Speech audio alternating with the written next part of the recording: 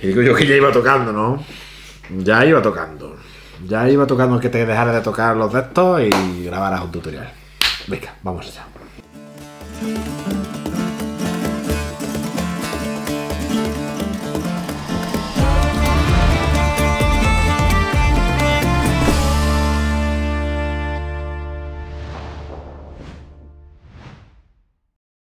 Hola habitantes de la comarca, Manu, el agujero hobby, macho, me estoy en tal sitio que me está reflejando aquí la luz y tengo aquí que parezco visión, mira. Madre mía. Traemos Celtae, ¿eh? Está vacía, ¿eh? Lo tengo aquí desplegado. Celtae, juego que ha traído aquí a España, maldito game, de Mijalo Dimitrescu y diseñado, ilustrado por David, David M. Santos Méndez. ¿Vale? Me imagino que es el mismo ilustrador, o sea, si no es, copyright aquí absoluto, de la saga del arquitecto y la saga de saqueadores y todo rollo este. Me flipa la portada. La, portada es una obra de arte, ¿eh? Mirar. Es auténtica maravilla. Me encanta. Celtae, de 1 a 4 jugadores, creo recordar. ¿Vale? Tenemos un solitario que quiero recordar que sí, que tiene, sí, de 1 a 4 jugadores, 10 años más, entre 50 y 100 minutillos. Ya lo hemos probado a dos, funciona perfectamente y os explico cómo se juega. Le damos 1, 2. Celtae o Celta, como queréis llamarlo. Cómo se juega, preparación y los componentes y demás. Venga, lo primero, tablero central. Este mamotreto de aquí. Tiene distintas secciones y os lo voy a explicar antes de empezar a explicaros cómo se juega. El tablero central está dividido en la parte norte, que es, ¿veis que lo parte el río por aquí? Pues la parte norte y la parte sur. ¿Vale? Son como simétricas, por decirlo así. En el centro está el rondel con cuatro islas. Una, dos, tres y cuatro. ¿Vale? ¿Y cómo se prepara? Pues básicamente tenéis que coger la bolsa de trabajadores, que son estos Mipel de aquí, que tenemos distintos tipos de trabajadores, los nobles, los granjeros, los constructores, estos son los soldados y luego tenemos los druidas que van aparte, ¿vale?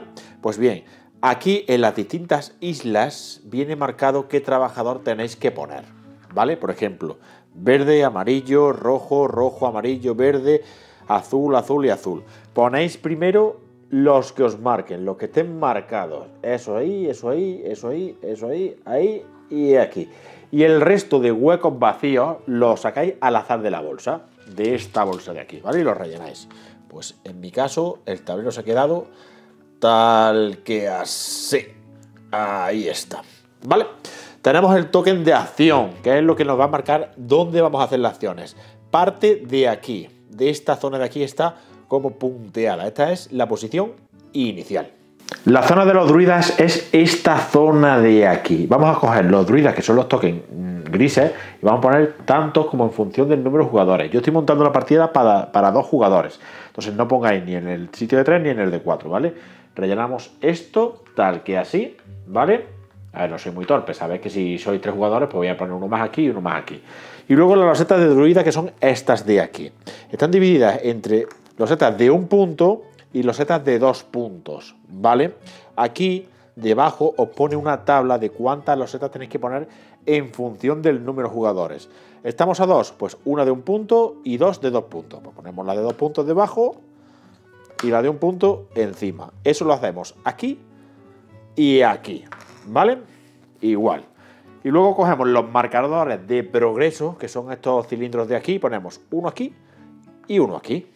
La zona de combate o del ejército es esta zona de aquí, se prepara muy parecida a la zona de los druidas. Tenemos que también poner marcadores de progreso, uno aquí y otro aquí. Y coger las losetas de ejército, que por detrás son rojas, y tenéis la misma tabla que os he enseñado antes, ¿vale? Pues en función de lo que os diga, de un punto y de dos puntos, una de uno y dos de dos. Pues las colocáis tanto aquí como aquí. Recordar norte y sur. Y luego tenemos los campamentos, que son estos sitios de aquí. Tenemos esta fila de campamento y esta fila de campamento. Coger el color, un color de un jugador que no estéis utilizando y tapar los campamentos que sean para 3 o 4. Si es la preparación a 2, como estamos haciendo nosotros. Pues 2 por aquí y 2 por aquí. Listo. Y ya que estamos aquí os explico cómo se colocan y qué es esto de aquí. Estos son cartas de progreso, cartas que se van a puntuar, a lo mejor sí, a lo mejor no, al final de la partida. Tenéis que sacar, rellenar estos huecos en función del número de jugadores. A 3 se rellena este y este también, y a 4 se rellenan todos. A 2, solo estos de aquí. Hay carta de progreso de 2 puntos y carta de progreso que llegan hasta 3 puntos, ¿vale? Aquí os dice mm, qué carta pide. Aquí una de 3, una de 3, una de 2, una de 2, una de 2. Hay un montón. Las sacáis al azar y las ponéis. Y luego ponéis en este track tantos marcadores de progreso de abajo a arriba según el número de jugadores. A 2 llegamos hasta aquí. La zona de los poblados. Tenemos dos, una en el sur y otra que es igual en el norte. ¿Cómo se prepara? Pues estas son cartas de recurso. Hay un mazo muy grande. Las barajáis y sacáis una carta en cada uno de estos espacios. Una, dos, tres, cuatro, cinco y seis. En el norte hacemos lo mismo, ¿vale? Y luego tenemos cuatro poblados. Una, dos, tres y cuatro. Asociados a los colores de las cartas. Pues si jugáis a cuatro jugadores no vais a tener que tapar nada. Pero si jugáis a dos, como estoy preparando yo, en el sitio donde ponga 3, 4 pondremos un disco neutral. Aquí uno de 4, 3, 4 y 4. Y luego tenemos las losetas estas de bonificación, creo que las llama, ¿vale? Eh, sí, pues losetas de bonificación. Aquí os marca si son losetas para el sur. A ver, ¿veis este símbolo aquí? O para el norte. Cogéis las 4 del sur, las barajáis y ponéis una en cada poblado. 1, 2, 3 y 4. Y todo esto lo repetís en el norte se os tiene que quedar el tablero tal que así. Esto ya está preparado para jugar. Preparación del jugador. Vamos allá. Cada jugador va a tener su tablero personal con 1, 2, 3, 4, 5, 6, 7, 8, 9 discos de poblado que lo vamos a meter aquí en los huequecitos, ¿vale? Un cubito para el marcador de fuerza, que es este marcador de aquí, que lo vamos a poner en cero. Cuatro cubitos para los campamentos militares, que los vamos a poner aquí, en este espacio de aquí. Empezamos con tres trabajadores. Bueno, empezamos con tres trabajadores, no. Durante la partida siempre vamos a tener tres trabajadores, pero empezamos con estos tres. Un verde, un amarillo y un rojo. Y una ficha de trabajador comodín, que es trabajador comodín o acción comodín, ¿vale? La podéis utilizar como queráis. Un druida, un druida, un celta, personaje, eh, el manual os dice cómo tenéis que seleccionar los personajes, pero bueno, cogéis el que queráis, básicamente, ¿vale? Yo he cogido esta que es la de la portada. Por la cara A, la ponemos aquí, ¿vale? Cinco cartas de recursos, de las cuales, cuando sepáis jugar, pues miráis, os quedáis con tres y dos las descartáis. Empezáis con tres, pero bueno, que para empezar os dan cinco cartas. Con todo esto podemos empezar a jugar. Por cierto, no lo he dicho, el jugador inicial se lleva la ficha de Tutatis. No te pierdas el nombre, ¿eh? Tutatis. Ahí está. ¿Cómo se juega esto? Vale, en Celtae no hay fases, no hay rondas, solo hay turnos. Turno tras turno, los jugadores van jugando hasta que se provoque el final de partida. En el turno, empezando por el jugador inicial, lo primero que va a hacer es mover el marcador de acción. El marcador de acción siempre se mueve en sentido horario, a las cuatro posiciones. Una, dos, tres, 4 y así infinitamente, ¿vale? ¿Cuánto podemos? Pues lo podemos mover de 1 a 3 pasos. Lo tenéis aquí, ¿vale? Si lo movemos solo un paso, ganaremos 1 de fuerza. Si lo movemos dos pasos, no pasa nada. Y para moverlo tres pasos, perderemos 3 de fuerza. La fuerza la vamos contabilizando en nuestro, en nuestro tablero personal, ¿vale? Si ganamos 1, ganamos 2, ganamos 3, quitamos 3, 1, 2, 3 y así, ¿vale? Una vez que hayamos movido el peón de acción, ¿vale? Tenemos que seleccionar de qué isla vamos a hacer la acción. Cada posición tiene dos islas asociadas. Si yo me coloco aquí, podré hacer acción en esta isla y en esta. Si me coloco aquí, aquí o aquí, si me coloco aquí, aquí o aquí, y aquí, aquí o aquí. Pues manera que yo me he puesto aquí. Tengo que decir, voy a hacer la acción aquí. ¿Vale? Lo primero que puedo hacer es intercambiar uno de mis trabajadores por un trabajador que hay aquí. Recordar que yo empiezo con estos tres, eh, ¿vale? Pues si yo quiero, puedo decir, pues mira, voy a cambiar este rojo por este amarillo. Y me llevo el amarillo. Y ahora yo tengo estos trabajadores. Antes de hacer eso, si quiero, puedo cambiar los trabajadores de esa isla. Imaginaos que yo estoy aquí, ¿vale? Y yo que quiero un trabajador azul y quiero cambiar uno de mis trabajadores por un trabajador azul y voy a hacer la acción aquí. Aquí no hay trabajadores azules. ¿Cómo lo hago? Pues con esta acción de aquí. Siempre puedo coger, pagar uno de fuerza, quitar estos y pasar los del centro a esta isla. Y después hacer mi cambio, ¿vale? Pues me voy a soltar un rojo y me llevo el azul, ¿vale? los que se queden libres aquí, los sacamos siempre de la bolsa. Trabajadores nuevos. Pues amarillo, verde y un otro verde. ¿Ok? Eso es lo primero que hacemos en el turno. Así que recapitulando, tu turno empieza moviendo esto de uno a tres pasos, pagando o cobrando fuerza en función de lo que nos movamos, seleccionando la isla donde vamos a efectuar la acción y a partir de ahí podemos cambiar uno de nuestros trabajadores por unos trabajadores de la isla. Y recordar también que siempre podemos pagar uno de fuerza para intercambiar los de la isla donde estamos trabajando con los del centro, ¿vale? Una vez que hayamos hecho todo eso, lo que vamos a hacer son las acciones de la isla. Lo que os he explicado funciona igual en todas las islas. Ahora, lo que sí, sí se diferencia son qué acciones hacemos en cada una de ellas. Os las explico.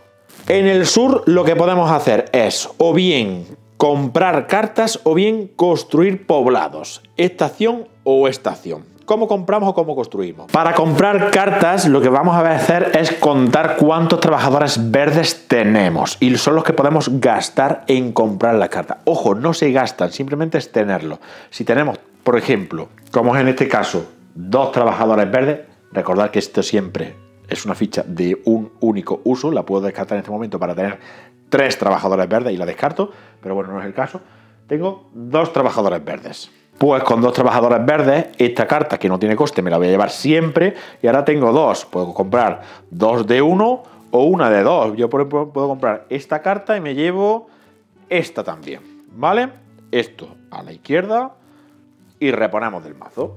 Pues dos cartas por aquí, una aquí y otra aquí. Cuantos más trabajadores verdes tengamos, más cartas podremos robar. Así de simple. Acción de construir, ¿vale? Para eso necesitamos trabajadores amarillos. Aquí verdes, aquí amarillos. Y lo que vamos a hacer es construir estos discos de aquí siempre de izquierda a derecha pagando las cartas que nos digan, este disco vale tres cartas, cuatro, cuatro, cinco, cinco y así sucesivamente, ¿vale? Pagando las cartas que nos digan y ojo, las cartas tienen que ser iguales y cuando me refiero a iguales, me refiero a que tienen que ser del mismo color. Si yo pago tres cartas de este color, mi disco lo colocaré en este color, ¿ok? Me pedía tres cartas naranjas, disco al poblado naranja. Si hay hueco, claro, si no, no. Recordad que las cartas tienen que ser todas iguales. Y Manu, ha dicho que hacen falta trabajadores amarillos, pero no los utilizados. Bien. ¿Para qué sirven los trabajadores amarillos? Pues porque por cada trabajador amarillo que ¿vale? Vamos a tener un descuento de una carta. En este caso, esto me pide cuatro cartas, pero como tengo dos constructores, solo voy a tener que pagar dos, ¿vale? Eso vale para abaratar esto de aquí. Pues básicamente eso es construir. En función del color de las cartas que utilicemos, lo vamos a construir en un poblado o en otro. Cuando pongamos un disco en uno de los poblados, recordar que en función del color de las cartas lo vamos a poner en un poblado o en otro, ¿vale? Nos vamos a llevar el beneficio de la bonificación que tenga asociado ese poblado, ¿vale? Hay una, dos, tres y cuatro. ¿Qué bonificaciones hay? Ganar una ficha comodín. Tres de fuerza, que nos subimos en nuestro track. Esto es reclutar un trabajador, que luego lo explico lo que es, y esto es robar dos cartas gratuitamente. Ojo, si algún jugador, nosotros u otro jugador, cierra el poblado, cerrar el poblado es que ya no quepa nadie más, aparte de llevarse esa bonificación, se llevará esta ficha como punto para el final de la partida. ¿Vale? Esas son las acciones de la isla sur, robar carta o construir. La isla norte funciona exactamente igual, robar carta o construir. Pero ojo, si la acción la hacemos, la hacemos aquí, robamos y construimos en esta zona. Si la hacemos aquí, robamos y construimos allí arriba. ¿Vale? Tan sencillo como eso. Acción de reclutar, la acción de los druidas, esta acción de aquí. Esto es solo una acción. Recordad que aquí tenemos una u otra, pero aquí solo tenemos una acción. ¿Cómo funciona esto? Podemos reclutar trabajadores. Para reclutar trabajadores lo que vamos a hacer es coger nuestros trabajadores que tenemos aquí, ¿vale? Los que usamos siempre para ver, para hacer las acciones, y es bajarlos aquí, guardárnoslos, ¿vale? O sea, mantenerlos siempre en nuestra reserva activa, que es esta línea de aquí, rellenamos siempre de izquierda a derecha. Me voy a guardar un amarillo. Podemos bajar tantos trabajadores como azules tengamos, ¿vale? O sea, uno siempre gratuito y por cada azul que tengamos, imaginaos que esto está así, o sea que nosotros hacemos la acción así, pues podemos bajarnos uno gratuitamente y por cada azul que tengamos podemos bajarnos uno más. Así nos podemos bajar incluso los tres. Uno, dos y tres. ¿Vale? Una vez que he bajado los trabajadores a esta zona de aquí, puedo convertirlos en druida. Para eso tengo que mirar qué trabajadores tengo aquí. ¿Qué trabajadores me piden la loseta de druida que esté encima? En este caso corresponde azul y verde. Lo podría hacer. Y básicamente es cambiar esos trabajadores por esta loseta y por este druida. ¿Vale? Lo cojo y me lo llevo. Esta loseta la gano como un punto para el final de la partida. Estos trabajadores los pierdo, pero los intercambio por este druida de aquí. Que este druida es un trabajador comodín, que vale como verde, como amarillo o como rojo como nosotros queramos. Y ojo importante, para poner el primer druida tenemos que descartarnos de una carta.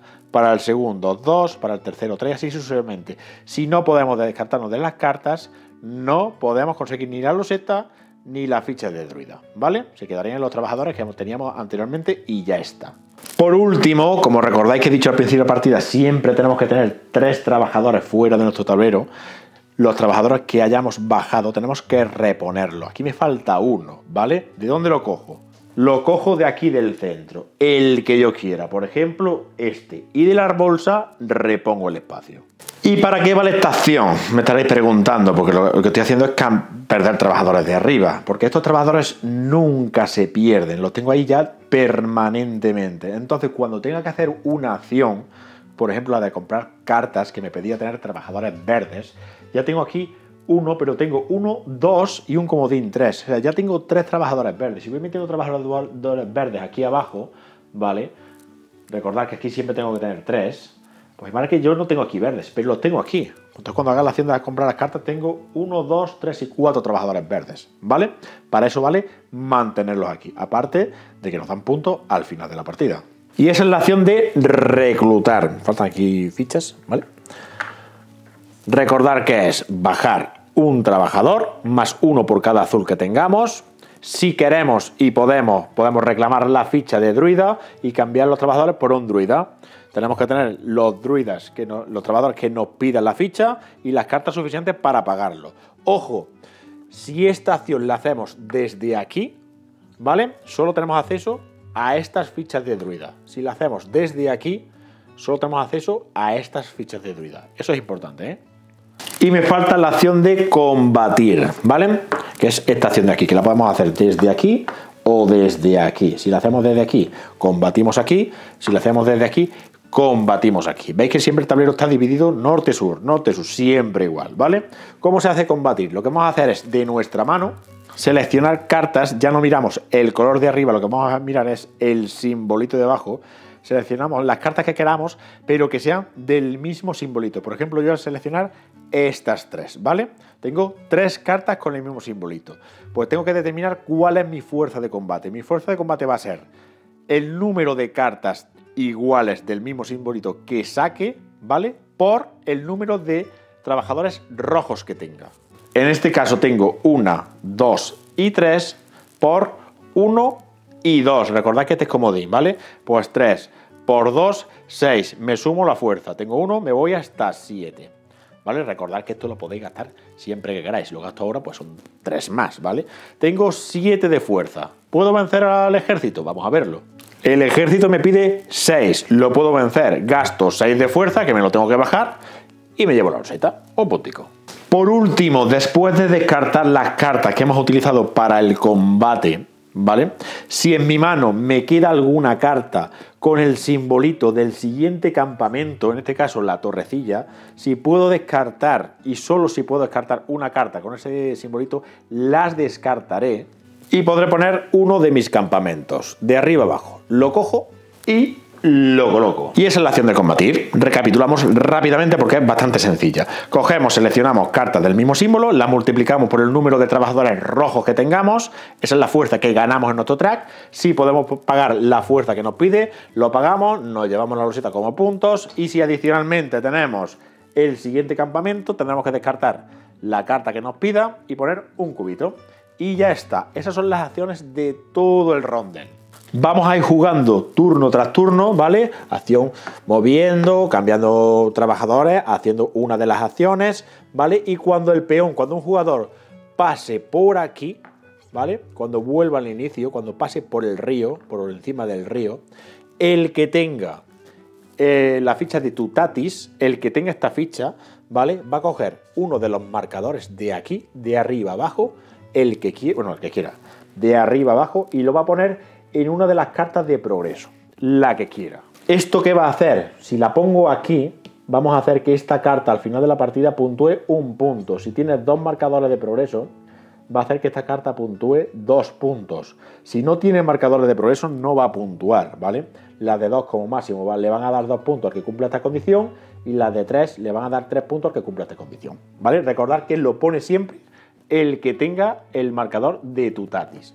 Después de poner esto, esto pasa al siguiente jugador en orden de la jugada del reloj, al de la izquierda. Algo parecido pasa con estos marcadores de progreso de aquí. El que acabe esta pila pondrá este, el que acabe esta pila pondrá este, lo mismo aquí y lo mismo aquí, ¿vale? Cuando vamos a ir jugando y cuando se ponga el último marcador de progreso de esta línea, estos no son necesarios, de esta línea, cuando todos estos estén puestos, se activará el final de la partida. Acabaremos la ronda y luego cada jugador lo pone aquí.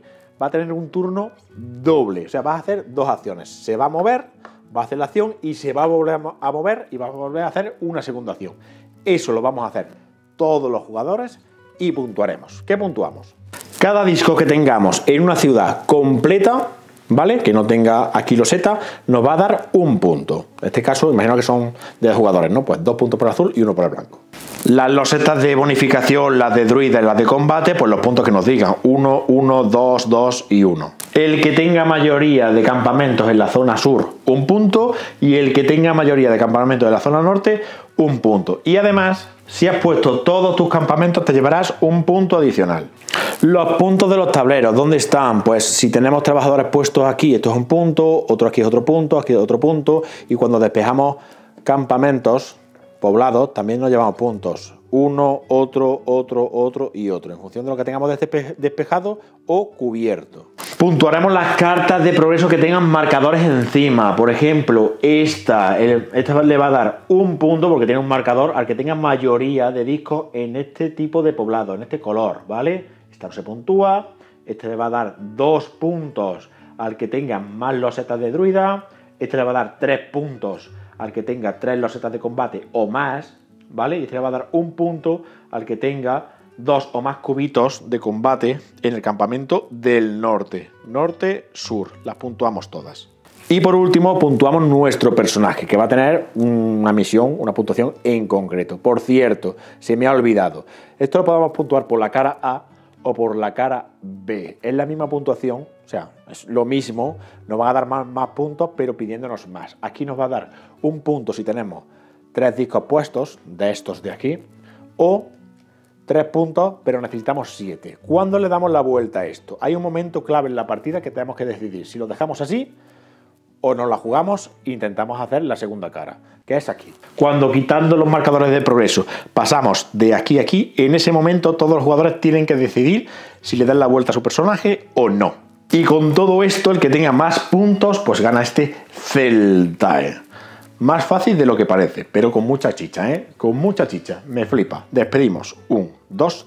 Pues ya habéis visto que el juego es relativamente sencillo, ¿vale? recordar que tenemos el rondel, que es un falso rondel por decirlo así, porque al final desde las cuatro posiciones, te pongas donde te pongas, siempre tienes acceso a comprar cartas y a construir. Siempre. Otra cosa que lo hagas en el norte o en el sur. Lo que sí te va a variar, ¿vale? Es que tengas acceso a los druidas o tengas acceso al combate. ¿Vale? Pero me ha gustado, me ha gustado el sistema.